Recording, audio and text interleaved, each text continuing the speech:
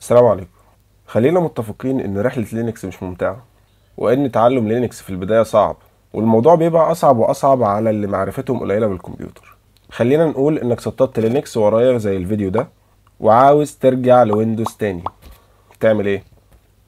هعمل سلسلة من الفيديوهات عشان الموضوع ده لأن أنا جالي كومنتات كتير اللي بيطلب مني إن أنا آه، أعمل dual boot ما بين آه، ويندوز ولينكس واللي بيطلب مني حاجات مختلفة حاجات مختلفة تخص ويندوز ولينكس واللي بيطلب مني إزاي يعني يسطب حاجة يلعب عليها جنب لينكس أو إزاي يلعب على لينكس. آه، فممكن ال dual boot يكون حل مناسب بالنسبة له إن هو يشغل ويندوز للألعاب ولينكس يكون هو ال system الأساسي اللي بيعمل عليه شغله.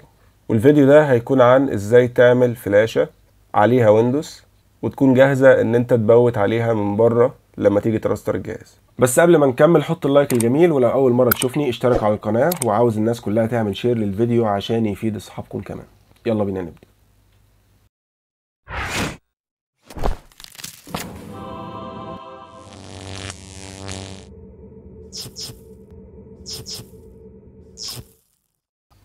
أول حاجة هنعملها إن إحنا هنسطب برنامج اسمه WoeUSB.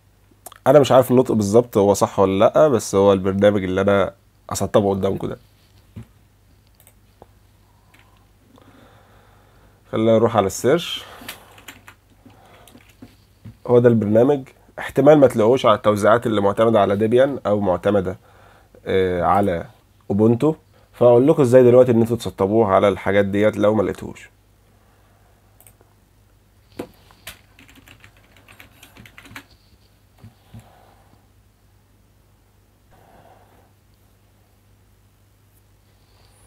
نعمل ابلاي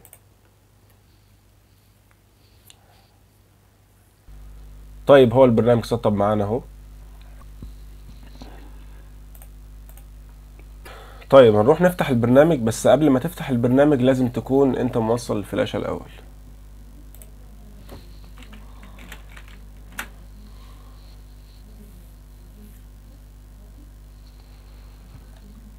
هو ده البرنامج. عندك الفلاشة بتاعتك اهيت. هنختار ال system file system NTFS ونروح بقى نختار النسخة اللي انت بالفعل لازم تكون حملتها على الجهاز عندك. ويندوز 10 open install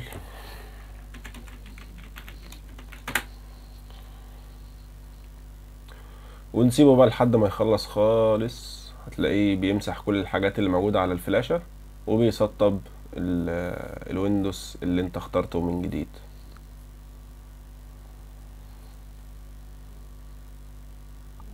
لو انت واخد بالك أنا عشان عندي مشغل UEFI system فهو من نفسه سطب آه، الويندوز بنظام UEFI اللي هو آه، عكس النظام بتاع BIOS. يعني أنا دلوقتي ال partition system بتاعي على ال hard GPT فعشان كده سطب ال UEFI لو انت بقى ال partition table بتاعك على ال hard MBR هتلاقيه لوحده من نفسه راح جاي مختار ال ال ما يناسب ال MBR ألا وهو ال BIOS system وهيعمل لك ال boot system بتاع الفلاشة يبوت على system BIOS مش يبوت على UEFI system ممكن تكون دي ميزة للناس المبتدئين وممكن تكون دي عيب للناس المحترفين اللي ممكن مثلا يكونوا عاوزين يحولوا من partition table شغال بال GPT ل partition table شغال ب MBR أو العكس. آه، بس يعني هو البرنامج ده في حدود إمكانياته أنت تقدر تعمل كده. ممكن بقى يعني تحول ال partition table أو أو ال boot system بتاع ال partition table عندك بعدين يعني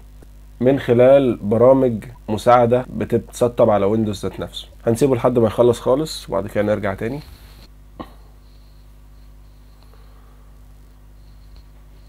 تمام كده البرنامج خلص ونقدر نروح نتأكد إن ال- النسخة متسطبة على الفلاشة ولا لأ بالشكل ده.